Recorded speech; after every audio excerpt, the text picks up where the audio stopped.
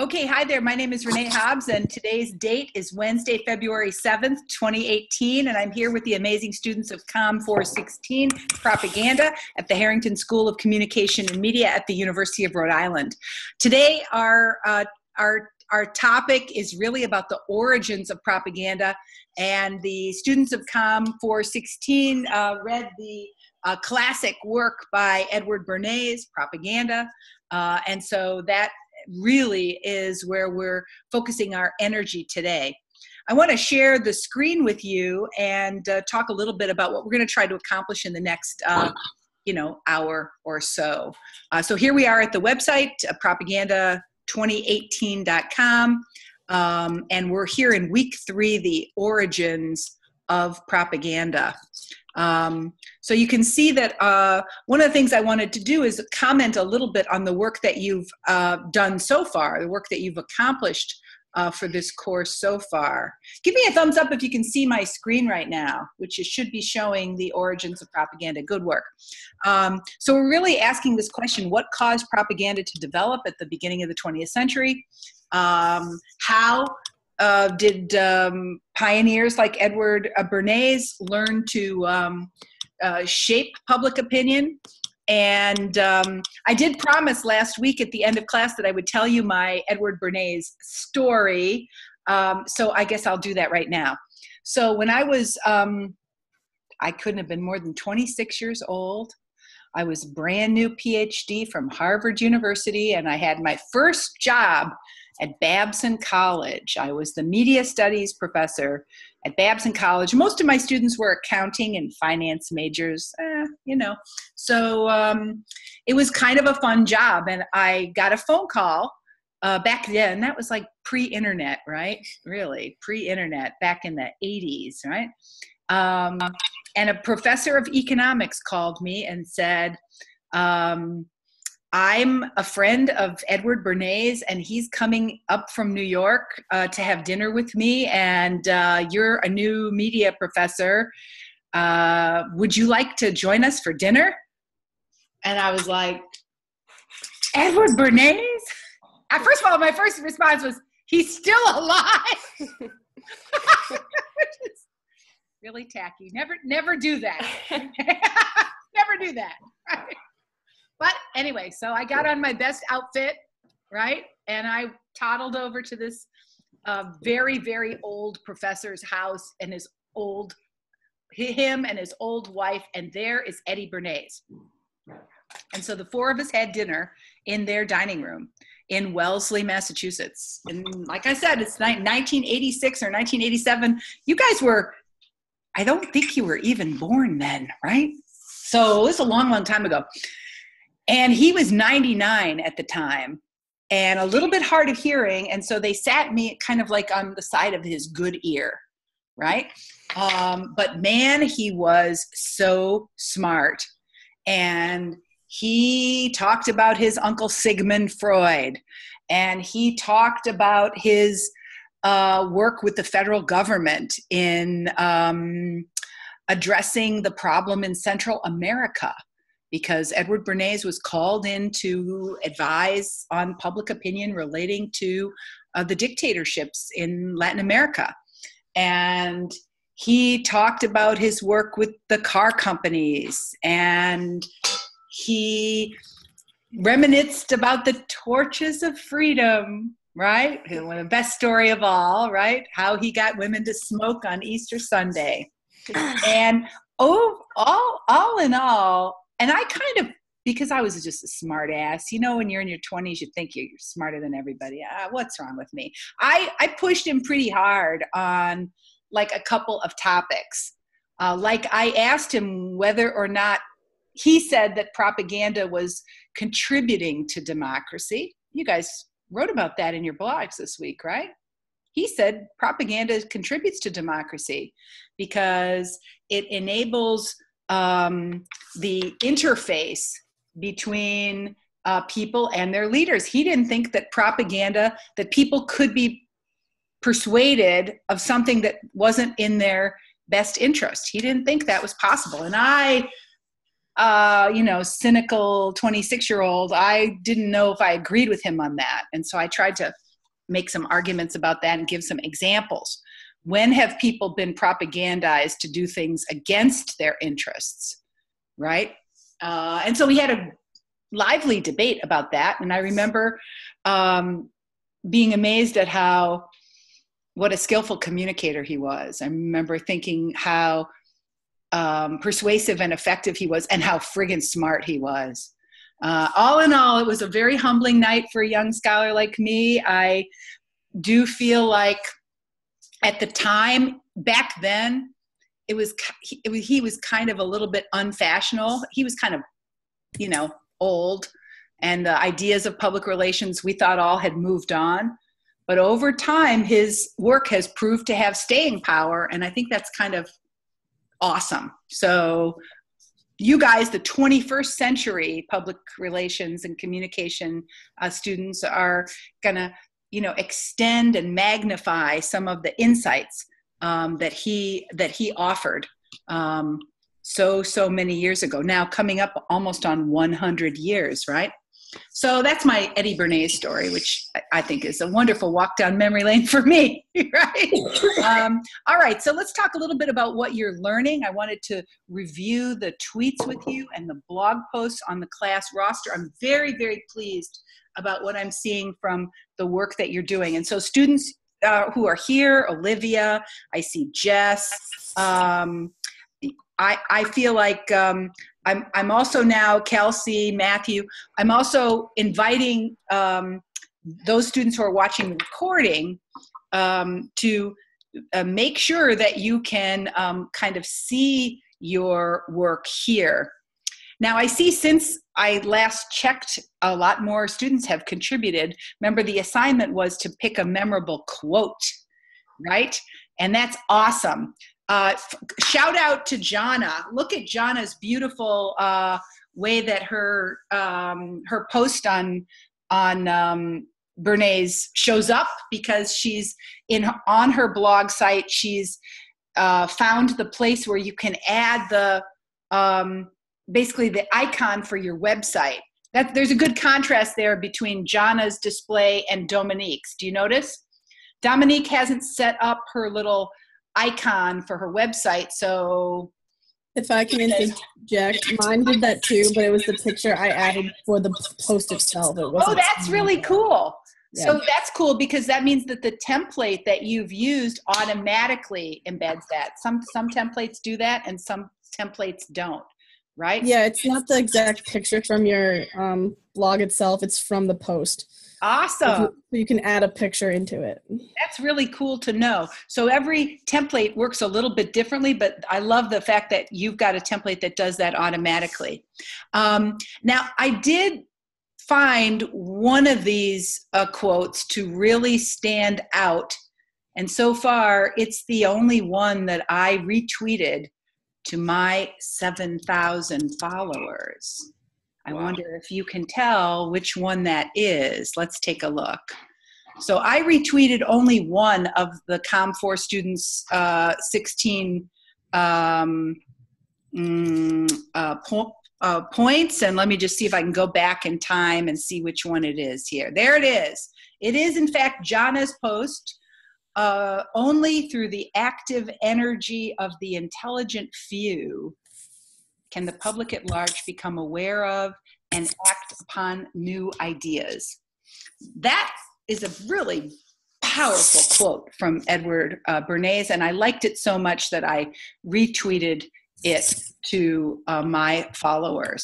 So I was really pretty pleased to see how you were managing with the COM416 tweets um, and the blog posts. We're starting to uh, recognize how we can construct tweets that uh, communicate rich information and also uh, attract attention to be retweeted. So I'm really also thrilled to, uh, I can't wait to, I started to read these, but I'm going to be reading more of them. Um, as of about noon, just go back over here to my stop share. As of about noon, I made a list of students who have done the Edward Bernays blog post and then students who have not. So I've got, I see at about noon it was about 50 50. um, but I'm sure that that's picking up quite a lot now this afternoon as we get closer to the deadline. Um, so I really invite you to take a look at some of these great um, uh, posts. Uh, so, for instance, Patrick uh, at Patrick's website, he had a really interesting way of um, sharing the um, of the of the posts right? And some of you guys did this by literally just answering questions one two three four five. Others of you uh, wrote um, in in a, like a slightly different way. Um, so um, peyton right? So there's you guys used a bunch of different formats for um, for uh, dealing with this. Notice i have to kind of find where your posts are but i find them right? I find them.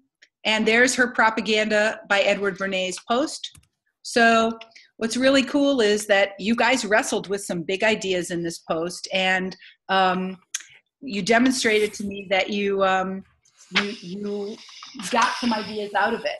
Everybody knows the Torches of Freedom story, even if you haven't read the book by propaganda, but only people who have read the book by propaganda know about the velvet flood, right?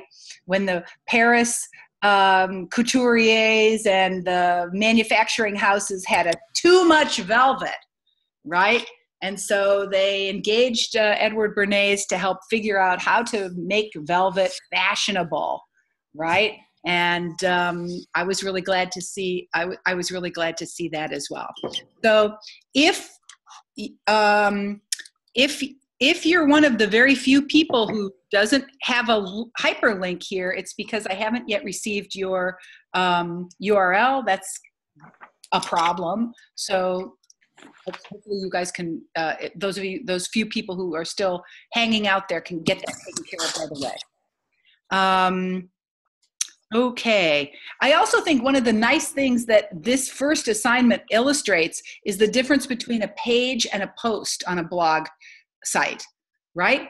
A blog post comes up in chronological order with the most recent one at the top and then the next most recent and the next most recent and the next most recent.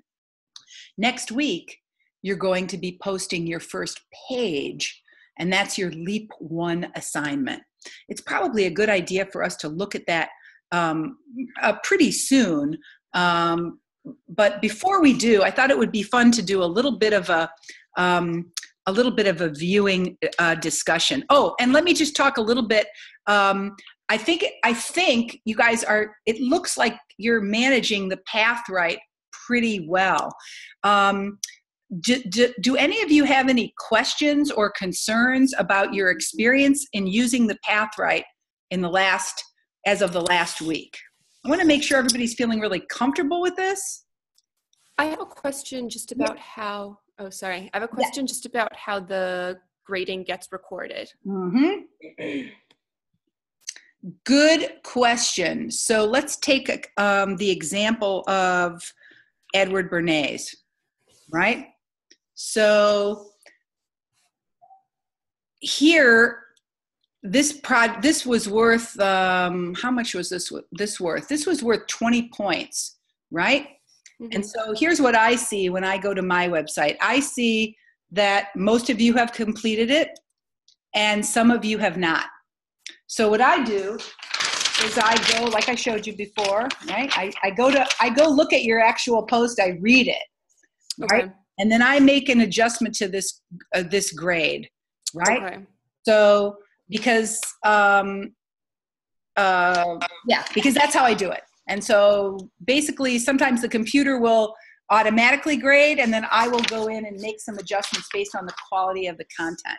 But that's really what happens uh, to the Pathwright? Right? You are um, essentially moving through these activities um, uh, sequentially and and getting and getting points for it. Um, one of the things I asked you to do for this week was to read the assignment specifications for Leap One. Mm-hmm. And since Leap One is due just one week from today, now I'm really counting on you, Jess, Meredith, Olivia, Matthew, um, to um, ask questions that might help you to be successful and aid this leap one. What questions do you have about this project? It's due one week from today. Can I just ask another question about the Pathwright? Sure. Um, how do we know like what time that it's due? Because like um, I just saw that it said like 15 minutes late previously, but I thought in your email that they were due at seven. Yeah. So, uh, so thank you for asking that question because, um, you know, have you ever noticed how like sometimes technology like pushes us to do something, even though we don't really want to do it? Yeah.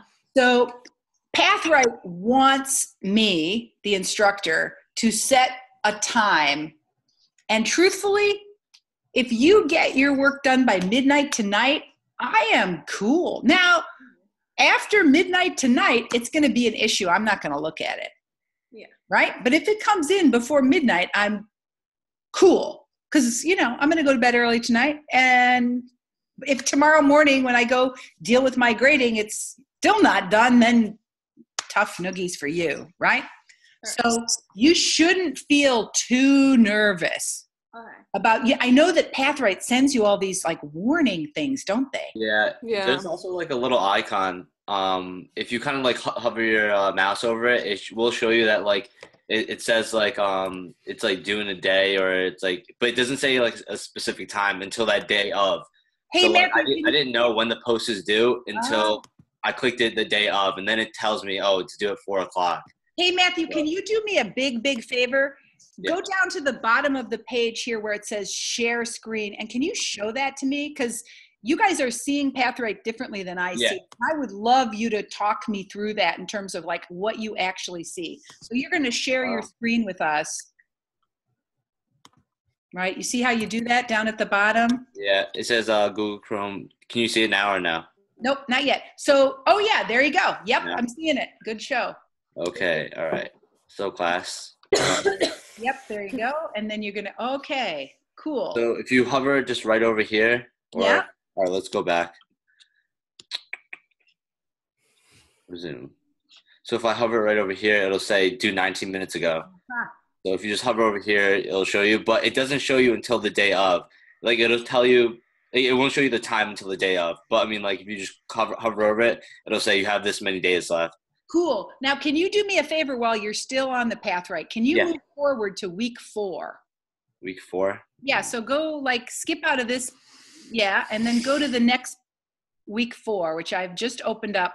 Okay, and now like open up that page where it says show six steps. Okay, now when you click on one of those, okay, got it. So it does, it gives you like a. it gives you a date that it's due, but it doesn't give you any more details than that. Yeah. Okay, cool. That, thank you for sharing your screen with me for that. That was really helpful. So I wouldn't I wouldn't be in a panic if it's like four hours late, six hours late.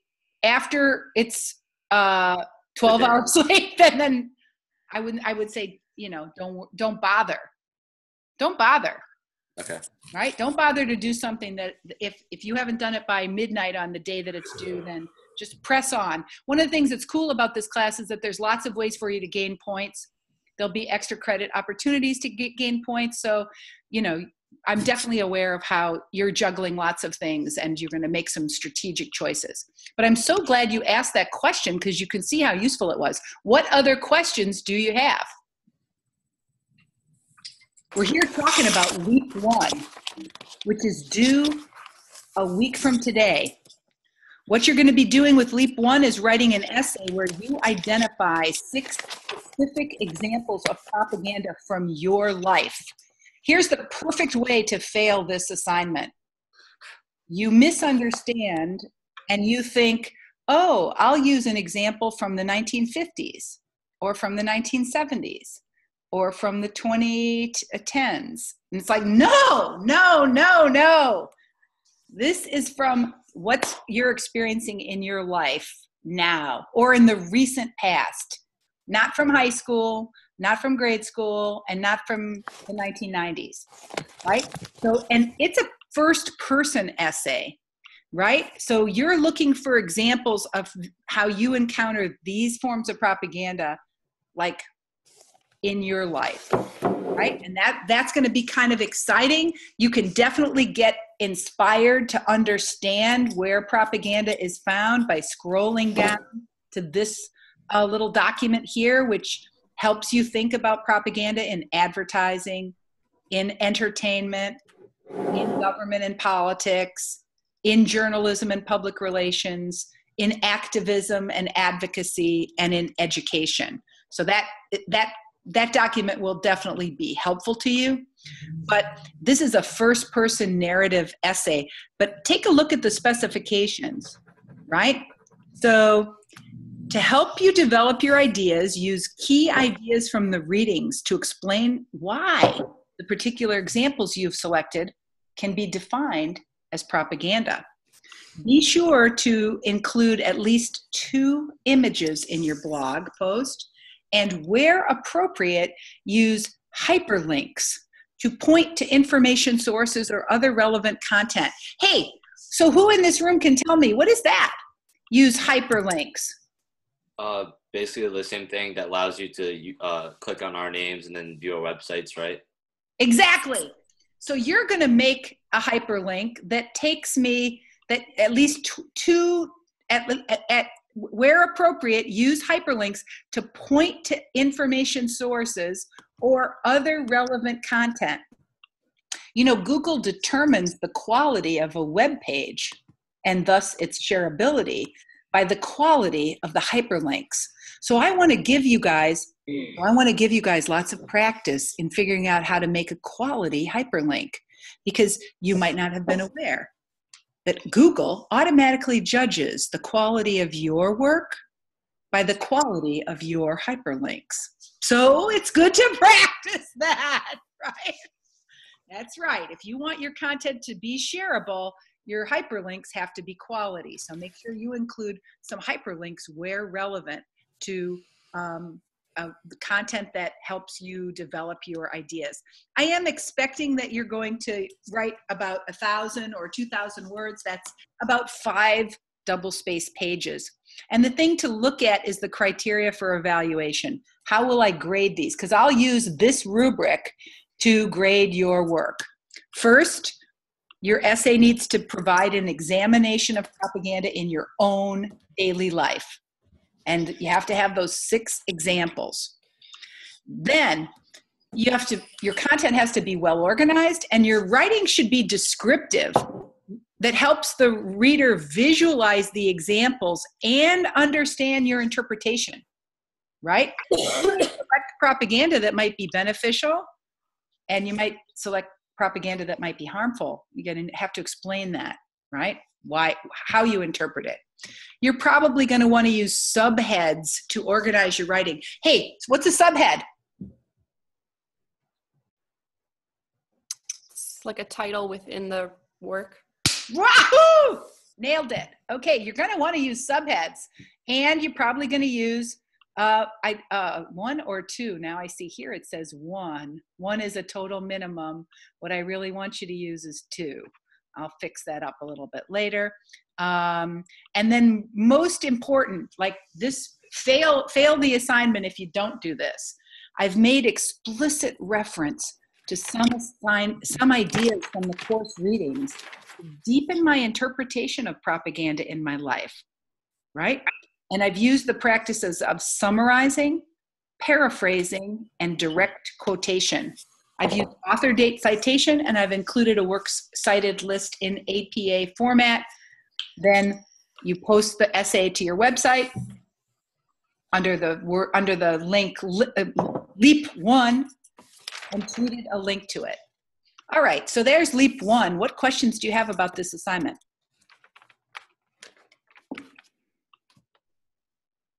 Okay, give me a thumbs up if you're feeling good about getting that done in the next seven days. Yeah, sure, it's easy. No problem. Okay, so let's move on. I thought it would be fun to uh, watch really cool video about Edward Bernays. And um, of course, there's a lot of interesting videos about Edward Bernays online, but I like this one a lot. Um, so I thought what we would do is we would um, we would watch it in a particular way. We're going to watch this video called "How One Man Manipulated All of America." Okay, but let's see if we can watch it like collaboratively. Isn't that a good way to do it? So, Olivia, I'm going to ask you to watch part one. That's the beginning of the video to about four minutes. Kelsey and Jess, I'm going to ask you guys to watch from about four minutes in to nine minutes. I gotta leave soon. Oh, heartbreak. Well, that's partly why I have the both of you guys working on it. So sorry. Right. And then Matthew, you and I are going to watch part three, eight minutes and 45 to the 12 minute mark. It's a 12 minute video. So, Oh, wait, I don't have a part. Which one do I watch? oh, goodness gracious. How did I skip over you, girl? Meredith. Oh, so Meredith, you watch part two, Okay. four minutes to nine minutes. Okay, so now give me a thumbs up if you know what you're doing. Where do we We're not going to to watch here on the uh, Zoom, uh, right? I'm going to turn off my uh, microphone and I'm going to turn off my video. I'm going to watch my segment. That's part three. My, my segment is part three. I'm going to watch my segment for four minutes. I'm going to make, as I watch, I'm going to make just a couple of little jottings to remember some ideas because what we're going to do is come back together and like share, right? What, what ideas is this video showcasing? right? And then when we're done talking about the ideas, I also want to talk about how this video is constructed. Like what format did it use and what techniques and what your opinion was of the format. All right, give me a thumbs up if you know what we're doing. Okay, Where now do we get to this link? say again. Where do we get to this link? Yeah. Oh, good show. There it is right there. Uh, you click on that YouTube Five percent video. how to entrepreneur. You Got an skip idea? the Isn't that cute? My little sister has ideas. you skip the ad and you go to the video how one man manipulated all of america But Okay. is it like under assignments on the 416 propaganda? oh good question okay so here we go I, I, um, i'm going to go back and show you exactly how to do it here we are at the home page yep home page today's class week three Oh, okay. and we're going down here to this topic right here view and discuss have you found it Yes. Okay, good show. Thumbs up if everybody's found that YouTube video that you're going to be watching. Oh wait, can you sh- can you show me one more time? I'm sorry. I, I was trying to find it on my own, and now you got No lost. problem. Don't find it on your own here. I got a hyperlink. There's our main page, propaganda2017.com. There's our today's day, our class page. And then like this is our this is the overview of our class session, right? And so that's what we're going to be doing. If you're part 1, you're watching the first 4 minutes. If you're part 2, you're watching the second 4 minutes. And if you're part 3, you're watching the third 4 minutes. You click on that link and it takes you to the video. Okay, now, This video is brought to you by Skillshare. okay, I think we're ready, right? So do we click out of the, do we leave the meeting? All you have to do is mute your microphone. You can just Okay. keep your Zoom rolling. Don't mess with your Zoom. Just see how I muted? Yeah, mute your microphone. Matthew, mute your microphone. Kelsey, mute your microphone. Good job. Okay, so then now you can watch and play at your own pace. I won't hear your work, but I'll see you guys in four minutes, okay?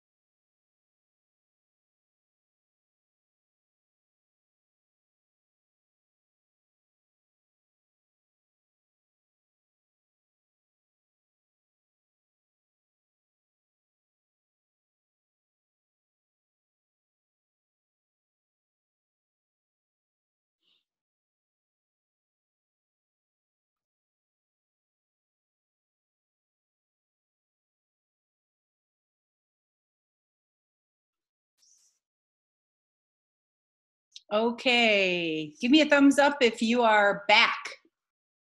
Awesome, great to see it.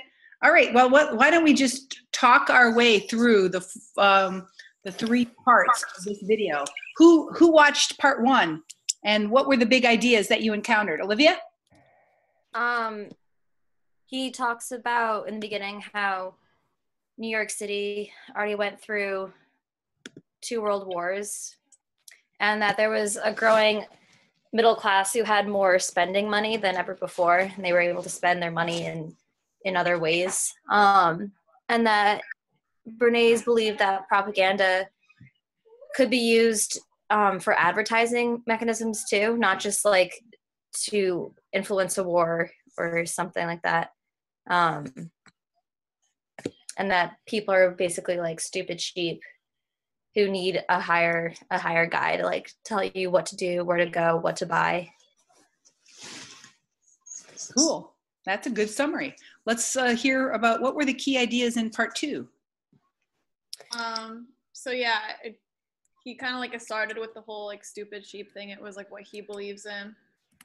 And um, so he thought that most people thought that like emotions were better than facts. So if they wanted to be persuaded, you should like um, appeal to like their desires.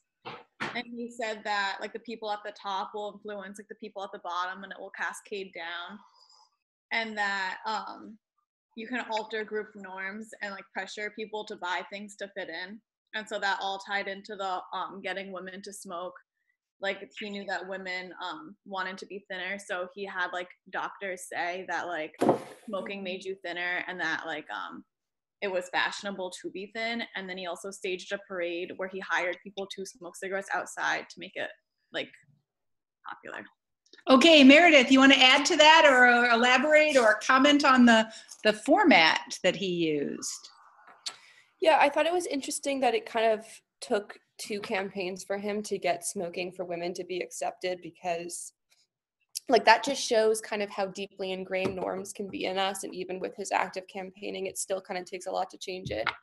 And i also thought it was interesting that he talked about the fact that you have to advertise everywhere because he said if you're advertising apples you're not just in competition with other apple vendors you're in competition with everybody selling food because there's only so much mental space that you can um, restrict just for food A key idea and very well expressed as well.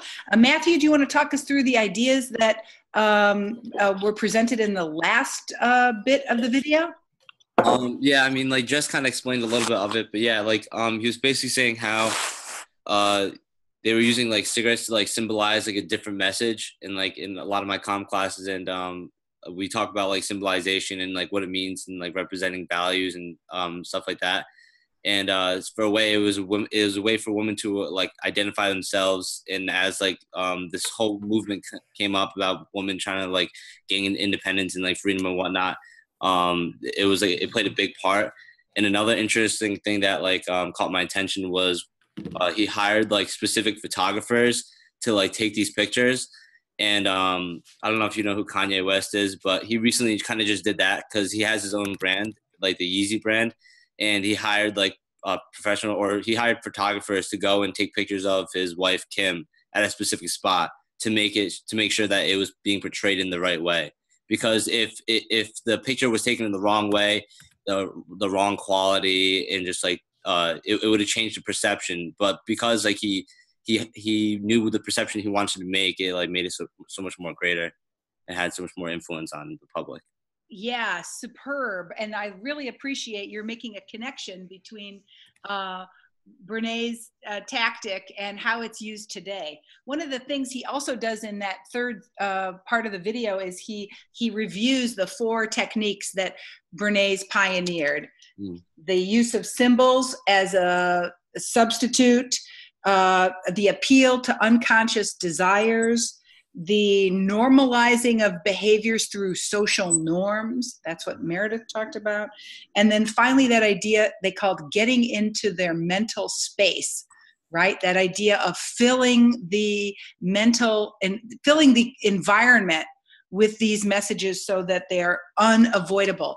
Um, he also mentions in the very end of that video how one good way to do that, to get into their mental space, is to use conflict and controversy.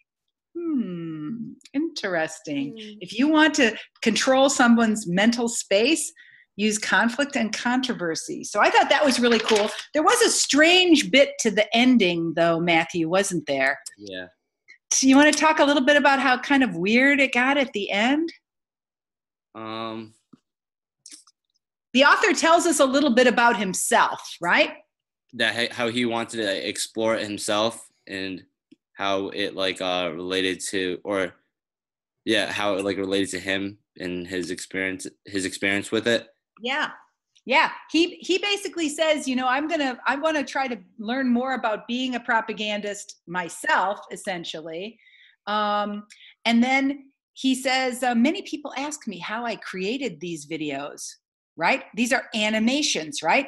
And he said I used two tools. I used Adobe After Effects and I used Adobe Illustrator and then it becomes persuasive. If you would like to learn how to use these tools, go to the website Skillshare and click here. yeah, I know. It's it's so we ironic. realize at the very end, he's not just informing us about Bernays, right? Yeah, He's also persuading us. the prime example of it. yeah. So you might want to watch the whole video to kind of get that very skillful way in which um, uh, this young animator does it. Um, but of course, what a creative amateur, right? To take the book, he read the book carefully. We can see that for sure. And he synthesized it into a tight 12 minute essay that gets at a lot of the important ideas. Of course, I have tremendous respect for that kind of creativity. You guys are going to get to exercise some of that creativity in your uh, work this semester, too.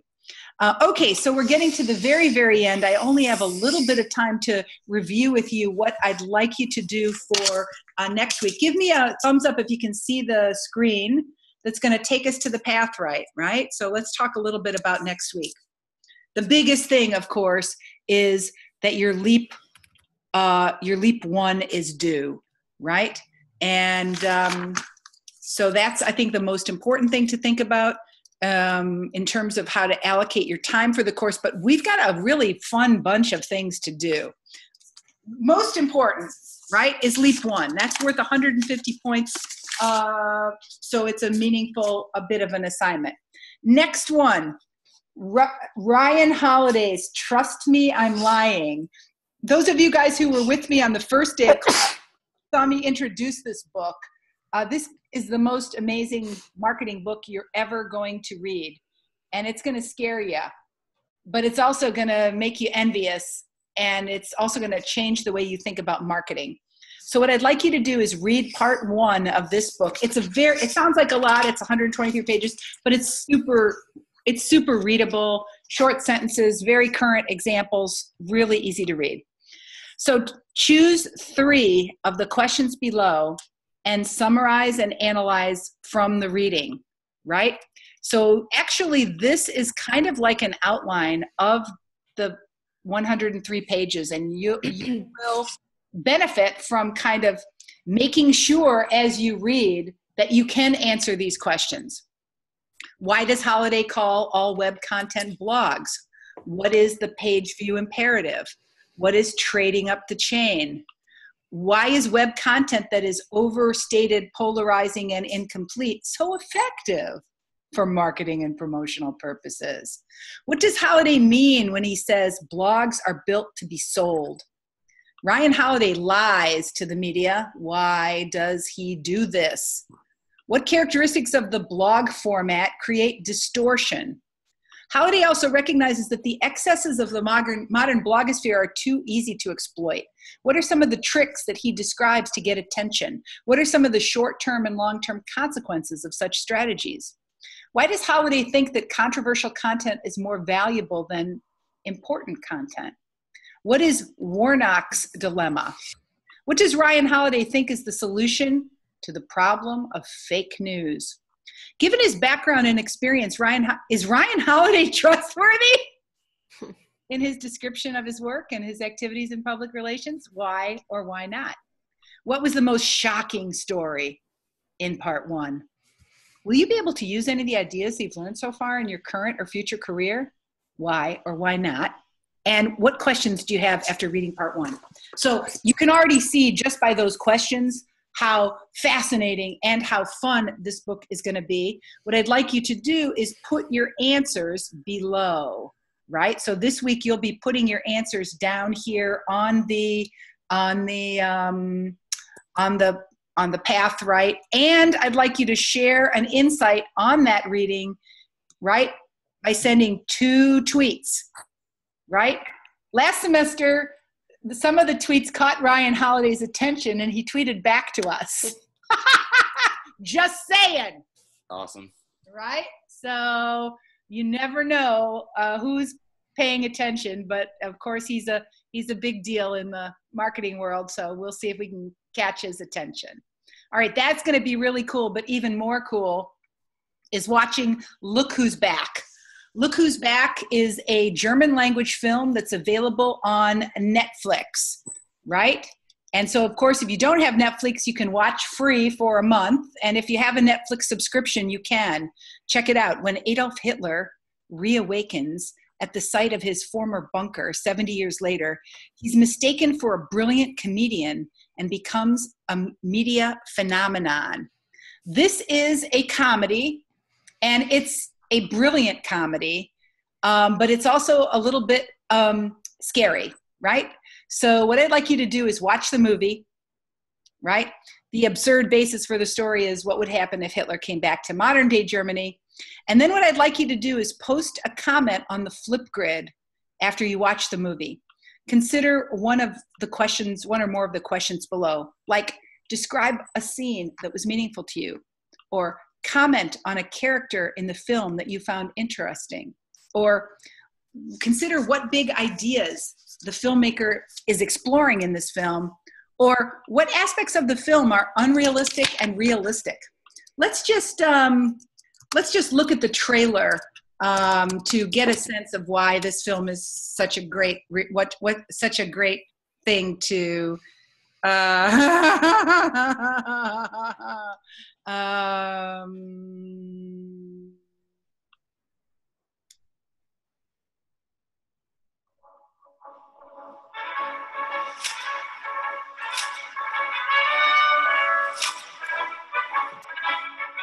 best-selling book in Germany, made into a movie. Welchen Namen soll ich denn Ihre E-Mail Under what name shall we enter your email? Heißt Really? das wirklich so? Nein, ich heiße natürlich nicht wirklich so. In Wirklichkeit heiße ich Schmuel Rosenzweig. Na, das ist doch super. Schmuel ist doch doof. Schmuel schreibe ich das mit H. Das war ein Scherz. Adolf Hitler ist weg. Adolf Hitler's already Jemand hat meinen taken. Hm. Und wenn sein von How about you take another name? Wie ein Pseudonym. Na Take a pseudonym. Nehmen Sie die neue Reichskanzlei. The New Reich Chancellery.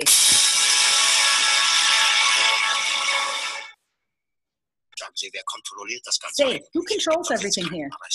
When there's no propaganda ministry anymore. sind doch alle ziemlich No, this is a pretty ungoverned network, my Führer. Das ist gut zu wissen. That's good to know.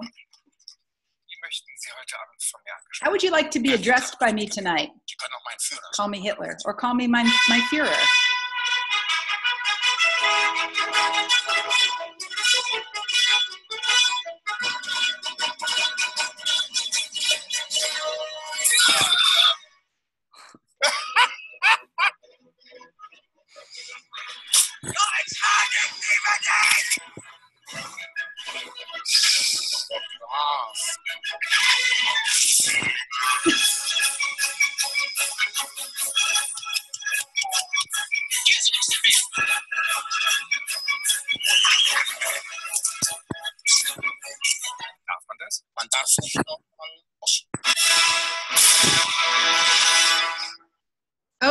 The concept, right? It is a fun, fun uh, show. Your your friends are going to love to watch it with you.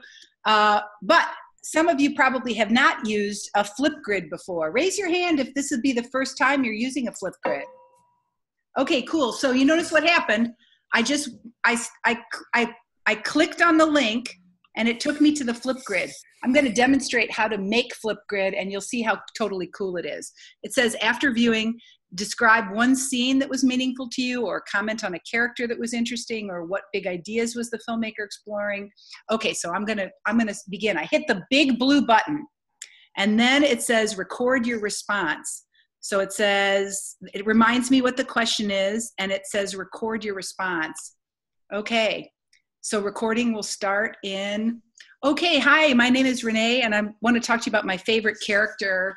Um, I thought the evil, um, truthfully, the evil TV executive was one of my favorite characters because I liked her and I hated her at the same time. And I definitely saw how she was using Hitler and Hitler was using her.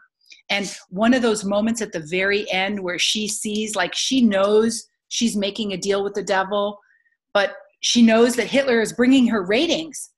Um, that was really, that was a key scene for me. Okay, so I just made my Flipgrid. I mean, I might want to go on and on, but I'm just demonstrating, right? Then I take Okay, a, hi, my name Oh, is I Renee, can and I review my to talk to you about my favorite character. I like it. It's fine. I'll take a picture. All right. Well, oh, that's not that good. I can add a sticker if I want. You know, I put my put my little moose heads up there. Oh, right there, my moose heads right there, right? And um, and uh, then I can save it. Let me see if I can figure out how to save it. And I just continue to save it. All I have to do is put my first name and my last name. I don't don't need to put your address. Don't need to put any of that other stuff. I guess I do have to put my last name. Okay, and then I submit the video and see what happens. Right. So basically, what's cool about this is like it allows Flipgrid allows us to have like an asynchronous conversation, but there's one rule. Okay, now I need you to raise your right hand and repeat after me. This is the one rule of Flipgrid. Oh, this is good. You guys are great. I love you. you play along with me, right? Okay, raise your right hand and swear. Repeat after me. I state your name. I, Meredith. Good. You solemnly swear.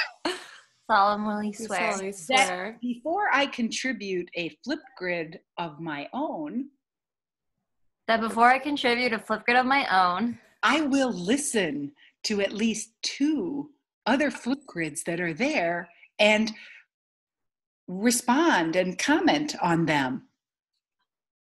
I'll listen to two and respond. okay, you got the concept, right? So help me God. So help me All God. right, here we go. So Flipgrid is way more. Flipgrid isn't very fun if you just post your own little comment in your own little world and walk away from it. That it's not very useful. But Flipgrid gets really interesting when you watch the person who came to Flipgrid before you. Oh, their favorite character was that evil lady who, uh, you know, blah blah blah. You go, wow, Renee, that's really you're really fucked up. That's not the favorite character. The favorite character is blah, blah, blah, blah, right? Because of blah, blah, blah.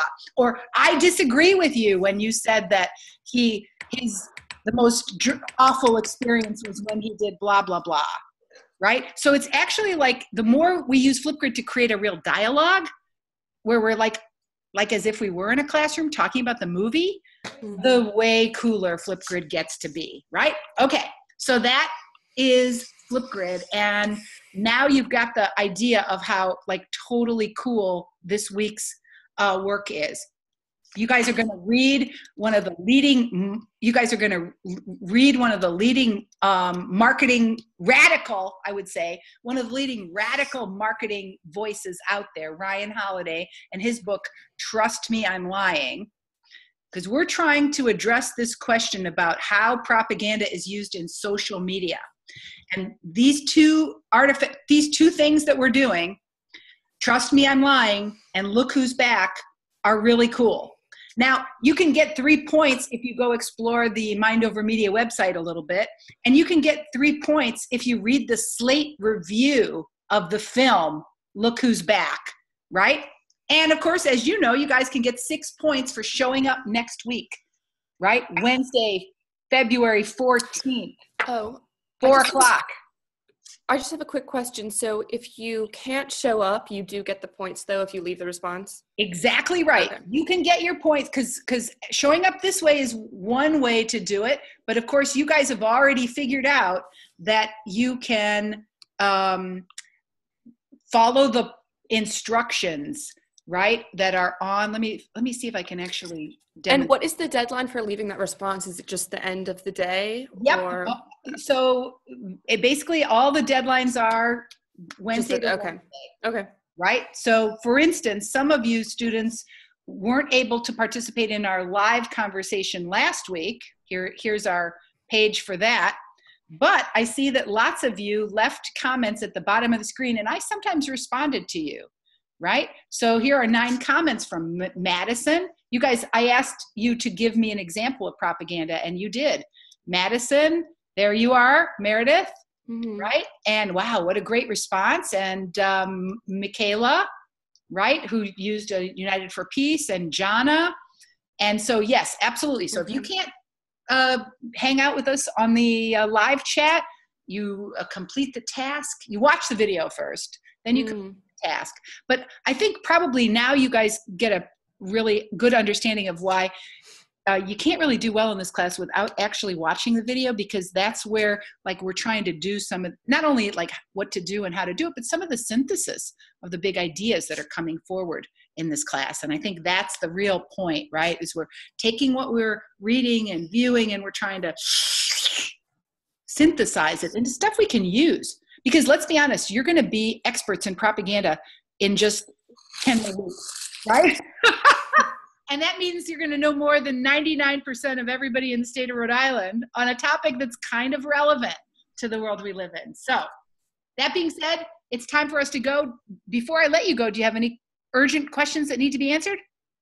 No, because you're cool, because you did it. And thank you so much for joining me tonight. So, Meredith, Olivia, Jess, Matthew, thanks for joining me. We'll wave goodbye and we'll Thank see you Thank you. for having us. Thank you. All right, Have a good bye now. Thanks for joining. Bye. Bye bye.